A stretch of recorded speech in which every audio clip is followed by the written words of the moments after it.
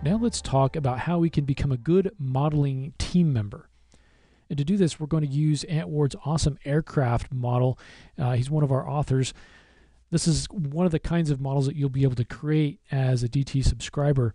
And I want to thank him for letting us use this. Now, I've gone back and, and used an earlier state and kind of made a few changes to this just so we can illustrate some of the things that we need to think about as we start to uh, finish up a model and begin to deliver it out to the next team member.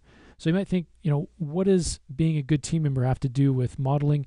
Modeling, even if you're part of kind of a one woman or one man team, you still want to prepare your model in such a way that when you get through to rigging and, and the rest of the, the disciplines that are going to be involved in getting your project done, you want to have done that preparation here at this stage so that your life becomes a little bit easier.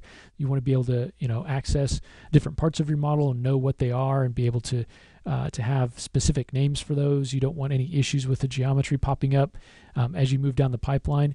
You know, whether you're working in a, a very small pipeline or you've got hundreds of people working on a feature film, you want to think about the next person in line. You know, if that's you, you're going to be working on it even better. You're thinking about making your life easier down the road. If it's someone else, you're thinking about making their life easier, getting that asset through the pipeline without having to come back to you for changes. Okay.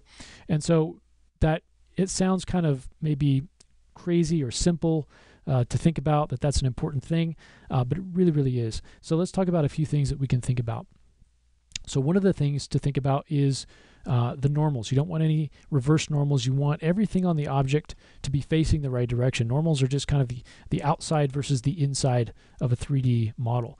And one way that I'll just quickly check usually is just go to lighting. I'll turn off two-sided lighting, and if something turns black, then I know that that those normals are reversed. So it's thinking that the outside of this engine is actually the inside. So all you have to do is go to normals, and then we'll just reverse those normals, and they'll be facing the right direction. So checking normals is a good thing to do uh, when you're prepping your model. You can also you know check the scale. You want the scale to be correct and consistent with the rest of the assets coming through the pipeline. You want it also to be uh, the pivot of the object to be placed in the right in the right spot. Uh, right now, we don't even have a hierarchy set up. Let's go into our outliner, which is going to be a really valuable uh, kind of uh, window here to work in. And so you can see we have all of our different objects. And so what we can do is begin to set up a good hierarchy because we're not going to want to send this through the pipeline just like that with all these separate pieces. That's not going to work. And so we're going to hit Control G to group that together. And then we can create an overall name. So let's say we call this uh, uh, vertical takeoff and land. We'll just call it VTOL. Okay, now the actual naming convention can be totally different. It can change based on what you want to do, based on your pipeline. Uh, for me, I'll go ahead and under VTOL, just to make sure everything has a unique name and I know every single object goes, uh, what every single object goes with, I'll just go ahead and add VTOL to the beginning of all of our objects. Okay, we can also, you know, if we wanted to create subgroups, we could do that. But we just want to come in and begin naming things. So we could call this VTOL underscore engine left. Now you see some of these actually have transforms on those. In some cases, most cases, you probably want to freeze those transforms.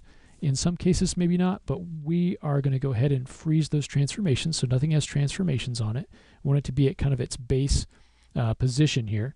So you can see those transforms have gone away. You want to also check for history. If you have any objects that have any history, you've, you've used tools on those to model, you want to uh, eliminate that history in most cases. Uh, again, in some cases where you've created tubes with NURBS curves, um, that'll be a special case possibly, and you'll want to keep that history so that uh, the rigging can be done a little bit easier. Um, that'll depend on the rigging needs that you have. So you want to go in and rename everything. If you want to, you can also center the pivots um, on those objects, again, depending on what the model needs to do. Sometimes you'll want your pivot in a very specific spot. Uh, you can rename things very quickly, either by coming up here and using the rename functionality. You can also change uh, names. So if we decided I don't want this to be uh, VTOL anymore, I want this to be uh, Jet. Well, we could come in here and we could go to modify, search and replace names, and we could search. If this was a long list, we could search for VTOL, and we could replace it with jet. We'll select hierarchy. And now anywhere that it finds the word, that string, VTOL, it'll replace it.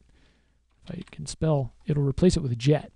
So go in here and now it's jet. Okay, the main thing is that we've got very specific, very unique names for all of our pieces of geometry. Uh, we've got the normals the way that they should be. You can also go in and use the cleanup functionality to check your model. You know, depending on the pipeline, you may need to have only four-sided polygons, or you uh, maybe it needs to be triangles, all triangles. Um, usually no, usually n-gons are frowned upon, but depending on the needs of your pipeline, you can check it uh, using the cleanup functionality found under uh, mesh as well. Okay, so uh, the main thing that I wanted to kind of get across to you is the fact that we're not working as a modeler, we're not working in a vacuum. You know, we can sit here all day and, and build up this great model, and then if we don't pay attention to the hierarchy, we come in here and there's all of these uh, pieces. Now this looks fine, but there's, you know, if you start from scratch, you've got all a, kind of a basic polygon. If I were to go in and create, uh, let's say a just a cube, you know, it's just a p cube one, and you start to bring in 10 of those different cubes, it's really hard to tell what is what. So keeping things organized is really going to make your life easier, and it's going to make the lives easier of those artists that are down the pipeline. It's always good to be a good citizen. All right, so um, the projects like this are what you're going to be able to build through digital tutors. We have a bunch of different projects from these uh, aircraft models. We've got characters. You're going to be able to go through and build these from scratch step by step. And then, really, the idea is that then you can build your own design step by step because you've gone through that process on something else. Okay. Um, we've got courses that are based on a specific software.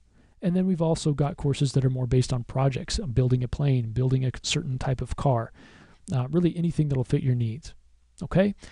Now, really, it's been so much fun for me spending the last 30 minutes with you learning about modeling in Maya, something I'm really, really excited about.